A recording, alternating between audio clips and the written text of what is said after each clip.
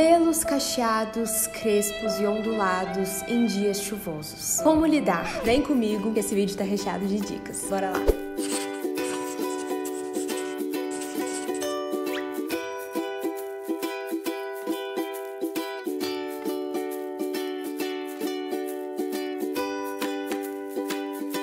Oi, gente!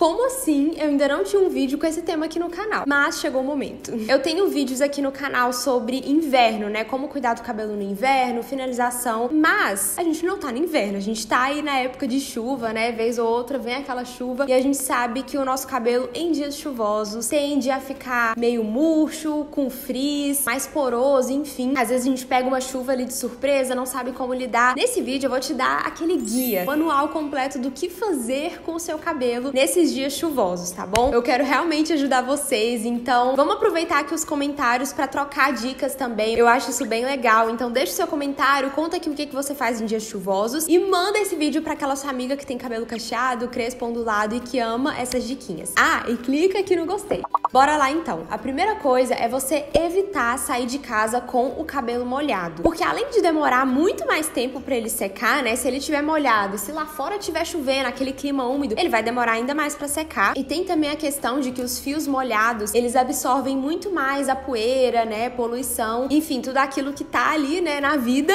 E também porque gera ainda mais frizz no cabelo. Repara, se você sair com o cabelo molhado e se lá fora tiver chovendo ou um clima úmido, o cabelo fica com mais frizz, com um aspecto assim, como se a finalização fosse se perdendo, eu não sei explicar. Então a melhor maneira é você sair de casa com o cabelo já seco. Eu sei que às vezes não dá, né? Às vezes na correria ali do dia a dia não dá, mas se você puder evitar de sair com o cabelo molhado, ajuda bastante usar um óleo reparador para criar aquela película no fio e evitar aquele frizz em excesso. Pode ser também óleo vegetal, tá? Em dias chuvosos, dias úmidos, você pode usar e abusar do óleo vegetal porque o cabelo vai sugar muito e vai fazer com que o cabelo fique mais nutrido, que evite esse efeito assim de frizz em excesso. Tem um frizz, gente, que não é o frizz normal do cabelo, é aquele frizz da chuva, é aquele frizz do dia úmido que você sabe muito bem. Então, o óleo ajuda bastante nisso, né? E ajuda a dar mais brilho também no cabelo tenha sempre um produtinho na sua bolsa. Por quê? Porque, sei lá, você pegou uma garoa ali, aquela chuva fininha. Sabe aquela chuva que não te molha por completo, mas que você também não fica seca? Pois é, essa garoa é perfeita para fazer o cabelo ficar assim, maravilhoso. Só que não. E aí, o que, que você vai fazer? Você vai pegar esse produtinho que você tem na sua bolsa, de preferência que seja um produto mais encorpado, um ativador de cachos, enfim, e você vai aplicar no cabelo. Porque você vai aproveitar que seu cabelo já ficou úmido e aplica esse produto mais encorpado para dar ali mais mais forma pro seu cabelo para dar uma revitalizada ao invés de, né, só piorar a situação. Ou até mesmo que você não pegue chuva, ter um produtinho na bolsa, um olhinho, um gel, um creme, sei lá, é muito bom porque te salva naqueles momentos que às vezes seu cabelo não ficou do jeito que você esperava.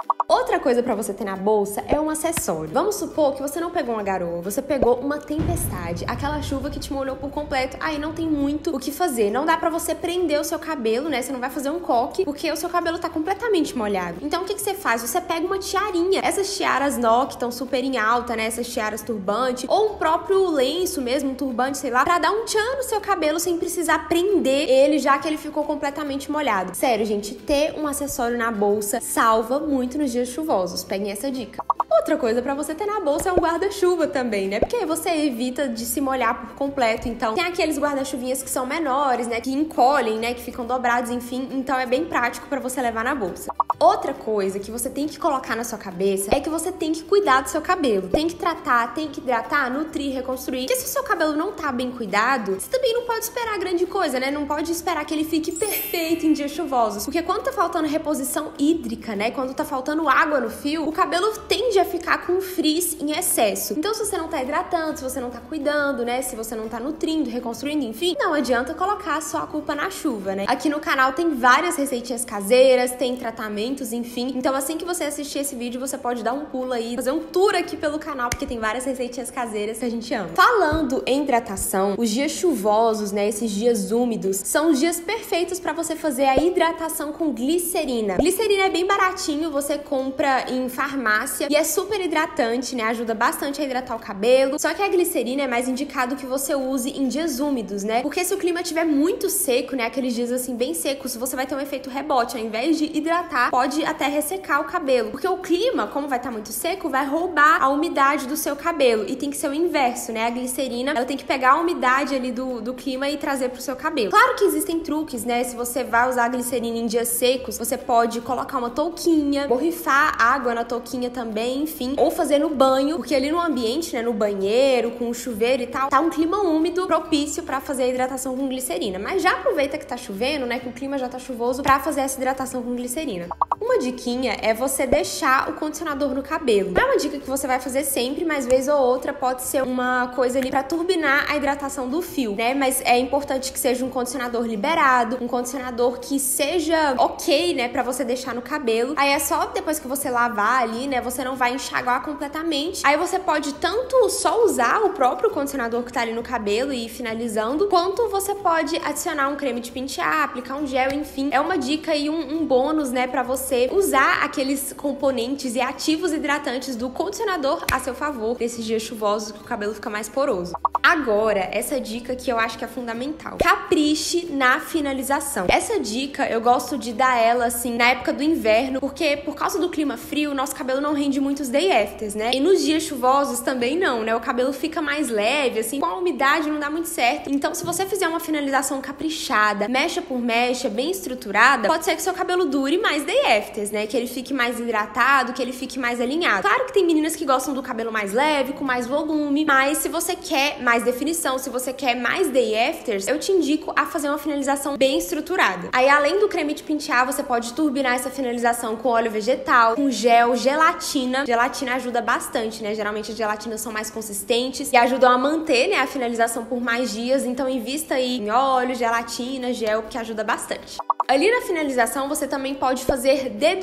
Eu sei que nem todo mundo gosta do efeito do dedo mas o dedo ele dura mais os day afters, né? Os cachinhos não se desfazem com tanta facilidade. Então, se você gosta de mais definição, é uma boa dica para os dias chuvosos, né? O cabelo vai ficando mais úmido e às vezes a finalização vai se perdendo. Mas se você fizer dedo eles duram mais aqui, ó, estão vendo? Os cachinhos eles ficam mais formadinhos e não se desfazem com tanta facilidade. Você não precisa fazer no cabelo todo, mas você pode fazer em algumas mechas. Outra dica sobre o óleo vegetal é que você não precisa aplicar no cabelo todo caso ele pese no seu fio. Você pode aplicar naquelas mechas que são mais ressecadas, mais porosas, tipo no topo da cabeça ou aqui na frente, enfim, você vai ver aquelas mechas que são mais necessitadas. Lembra que eu falei que é melhor evitar de sair com o cabelo molhado? Uma dica é você usar uma camiseta de algodão para secar e retirar essa umidade do fio ou fazer a técnica plopping também, que eu já mostrei aqui no canal, é uma técnica para você secar o seu cabelo com uma camiseta, né? Você usa um tecido de algodão ali, o cabelo vai secando e ajuda a definir também. Essa técnica é ótima para as meninas que têm um cacho mais aberto, ondulado. Para mim, não é a técnica que eu gosto, assim, eu não costumo fazer, mas pode ser que dê super certo para você aí nesses dias chuvosos. Para evitar também de sair com o cabelo molhado, use e abusa do difusor, do secador, caso você não goste do cabelo com mais volume, né? O secador ele tende a dar um pouquinho mais de volume, então se você gosta dele com mais definição, você pode postar no difusor. Não precisa usar sempre, né? Se der para deixar secar naturalmente, ótimo. Se não, você usa ali um protetor térmico para ajudar. Já que a gente quer um cabelo bem hidratado nessa época, uma dica é você sempre fazer pré-shampoo. Antes de vir ali com o shampoo de uma vez no seu cabelo, faça um pré-shampoo, né? Aplique um condicionador antes, dá uma desembaraçada, faz uma umectação antes, porque isso faz muita diferença. Outra dica é você usar e abusar dos penteados. A gente sabe que nem sempre o cabelo vai ficar perfeito nesses dias e é normal, né? Use e abusa dos penteados, né? Aproveita aí esses dias que o cabelo não vai ficar tão legal pra fazer aquele penteado. Eu sempre falo que às vezes o seu day after perfeito pode ser um penteado perfeito. Então, use e abusa aí dos penteados, dos acessórios. Tem vários vídeos de penteados aqui no canal. Eu postei um recentemente aqui dos meus penteados favoritos. Então, aproveitem. E outra coisa, desencana, sabe? Às vezes a gente fica tão preocupado assim, nossa, meu cabelo hoje com essa chuva não deu certo, não sei o quê. Tenta levar isso de forma mais leve, sabe? Ao invés de ficar só ali reclamando, preocupada, querendo mil e uma dicas mirabolantes, tenta seguir essas dicas, mas se não deu certo, né? Sei lá, faz um penteado, como eu falei, né? Coloca um acessório, dá um jeitinho, porque, né, é inevitável. O nosso cabelo sempre vai mudar um pouquinho ali nos dias chuvosos, mas eu tenho certeza que essas dicas vão ajudar vocês de alguma forma. E me conta aqui nos comentários também qual que é a sua dica assim, top pros dias chuvosos. Eu quero saber. Vamos trocar aí umas ideias. Um beijo, fiquem com Deus e até a próxima. Tchau!